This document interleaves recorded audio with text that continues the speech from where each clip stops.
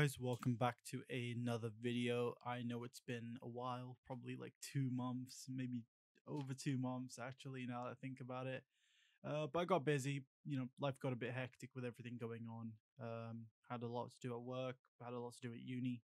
But uh, I got my exams on Monday, so I thought I'd make a quick video on how have I been making my notes, and I'll show you my first year notes compared to my second year notes um, for anyone else who has exams coming up in the next couple of weeks. And if you're starting university in August, you might be wondering what's the best way to make notes.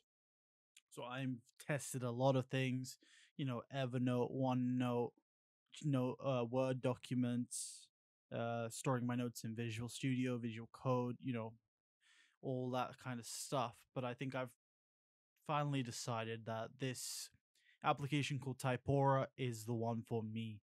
Uh, it's a markdown editor, so I'll just take you through their website firstly, just showing off all the features that they offer and why I use them. And you can see on the right here, straight away, you know, writing, con- drawing control flow diagrams. Normally, you'd screenshot like a PowerPoint or something, but I can create them in Markdown and store them in the text document essentially it lets me export them to PDFs. I'll show you an example of that, how I used it last year.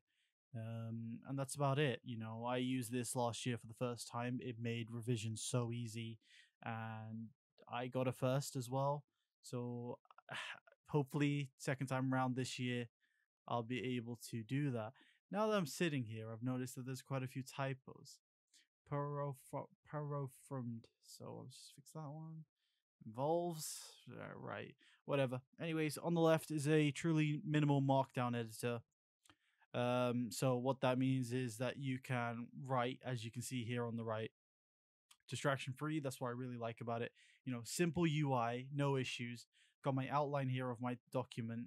If i need to read something i click on it and i go there uh, where i want to. When i'm writing stuff there's no formatting issues because i just format it in markdown. Um, and next best thing is all of this stuff essentially you know tables are in there i can resize them easily edit them make new rows um, maths very simple formulas when i was doing my mathematical structures module i was able to write out basically the formulas into my text code as i would do them by hand basically storing them online forever. Code fences is the big thing for computer science i'd say you'd be looking for as well. What it basically allows you to do is select which language you're writing in, and it will show it with all the syntax highlighted as you would have in a normal editor. Diagrams, like I mentioned here, you can do all your um, flow diagrams, you know, stuff like that straight in the document, and it's all there. You know, so when you're reading, you don't have to look at like I don't know, it just makes it look easier. You know, it's nice and clean. Um, and there's a bunch of other stuff that you can do in it. You know, it's a really powerful tool. Screenshots obviously are in there as well. Um, the headings, which is the same as the outlines, how it's created is really, really powerful in my opinion. Um, some other stuff here that you can have is just organized files. You know, outline panels. What I really like about it, and the exporting to PDF, which lets me then take it on my phone and iPad and stuff like that. Um, so you know, download some themes. It's on Mac OS, Windows, and Linux. Uh, I use it on Windows and on Mac OS. So the first thing first, I guess, is how do I sync my files across my multiple devices? Um, so what I basically do is use OneDrive, since that's what's on my Windows PC, and I primarily use that as my storage device. I have a folder in there called Typora, um, and then in there I have personal code, which is personal projects I've been working on. So I've been learning Flutter in my free time. So I have some notes on that. Um, and you can see here I've selected Dart on my code fences and everything's in there. So when I want to learn how did I do Flutter coding, you know, I haven't touched this in a while now, so I can just have a quick read through here about what does each thing mean. You know, a pub spec file manages Flutter assets, blah blah blah, um, and it's all nicely coded here as well with comments that I normally add um, from like tutorials and stuff like that, explaining to me what is everything doing. You know, that's in the Flutter folder. We've got first year here. We've got internet services, which was um, one of the modules I learned. So I have document on HTML, just covering some of the basics that was needed for the exam there. um, some of the syntaxes, and you can see it's all you, you just basically put a code fence in, put HTML, and it's all formatted nice and like colorful. I like colors, um, as you can probably tell from my room. Um, next thing you got is JavaScript, XML. So they're all there and in here when you need to write in those languages essentially. Uh, Machine Fundamentals is the one where I was learning MIPS, so I have a guide on how MIPS works, which I've actually found really useful because every time I come back to this um, and I have a new module on it, let's say I forget how do you even you know store a word in MIPS, I can just go to the outline on the file itself and select store word, and I've wrote my notes up in a way where I can just see the code fence next to a description of what it does, and I can normally by now, anyways, I'm good enough at coding that I can just read this for two, three minutes and understand how it works.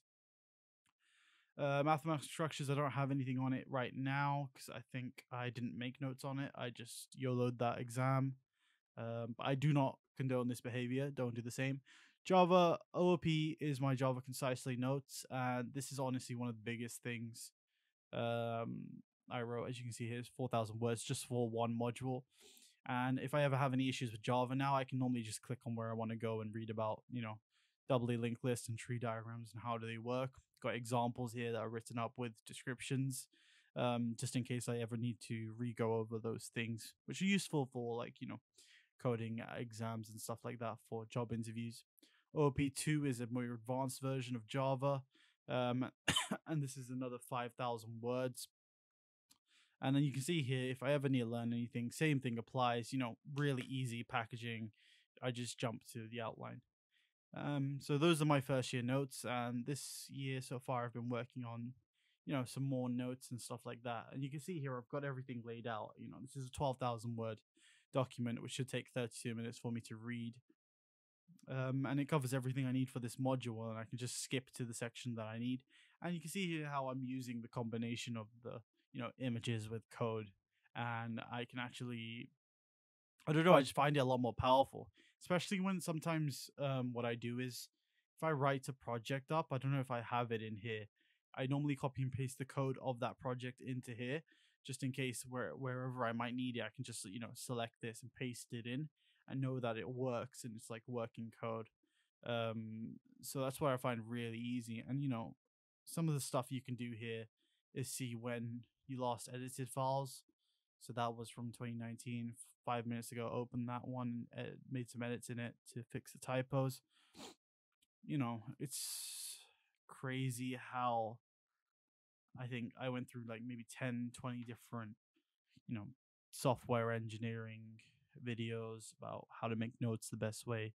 But the simplest way is the best way, and this is the simplest way. It really doesn't, you know, stretch you and does what it needs to do. You know, when you're making notes, the last thing you want to do is formatting all the time. You know, create a new file straight away, straight into typing. Control Shift K creates a code fence, set the language to Java, and you can just basically start typing away. Um, asterisk does bullet points, uh, and just doing a one does the numbering as well. Um, if I do Control one, two, and three, it switches between the headings. So I can be like main and then that. And you can see here on the outline now, there'll be a structure created for all of these things. Um, if you ever need to bold anything, you can just right click it, you know, or stick the double things, um, double asterisks on there. You got quotes, you know, you can actually quote things indented like properly. Um, I don't know. I'm gonna keep talking about how amazing this stuff is. Um, if you really want to format it, you can get horizontal lines in there as well. Um, you know, you, the things that you really need to create great work is all in here, and it's just easy and fast. You know, I added the index in table of contents right there. I can add that to every single document straight at the top, and you know, it all works. And when I save it, it's saved um discard that one for now like this software engineering one when i need to take it on the go just go straight to pdf print with the default theme and you can see the software engineering i've already created one um so if i was to open that right now you can see these are my notes fully you know neatly lo- laid out they've done all the titles there on the headings. They've added the lines so I can actually tell where each section ends. I can just sit in bed or something or wherever I am on my phone and just really go through each slide. So I really think you guys, if you're making or revising right now and you have time, start using Typora. If not, you know, after this revision season ends and the next year begins, making the switch to something like this where you can store all your notes in one thing easily accessible. You're not dependent, didn't pay for anything um, for this software for now, anyways. Um, it's insane. And these are markdown texts, so you can be open them in other editors. You're not just dependent on like Typora using some you know special formatting thing. They're just providing the editor that's just so good and so easy to use. Um, they didn't sponsor this or anything. Uh, shouldn't probably be getting as excited, but I don't know. I feel like a lot of people struggle struggle to make notes. I know a lot of my friends did, and most of them, two or three of them, you know, use this stuff now, and they really enjoy it, just like I enjoy it. I I'm just gonna go back to writing notes after this video is basically over, and I'll continue to represent the Typora community. um, but yeah, so thank you guys for checking out this video. It's just a really quick one. I'll be uploading more after my exams. So we're talking about June. Doing a year in industry, so I'll be uploading about the, a lot during that year. Have a lot more free time and stuff like that. We'll be doing some videos on Angular, HTML coding, Java series will be beginning, which is going to use my first year notes, and I'll cover through most of those topics because uh, I find it's good for me, anyways, when I can teach you guys um, stuff. So thank you for all the support. I do read all your comments. I see who every everyone who subs. I track my analytics despite you thinking I'm not here. Um, but yeah, thank you guys for checking out this video, and I hope you guys have a good evening.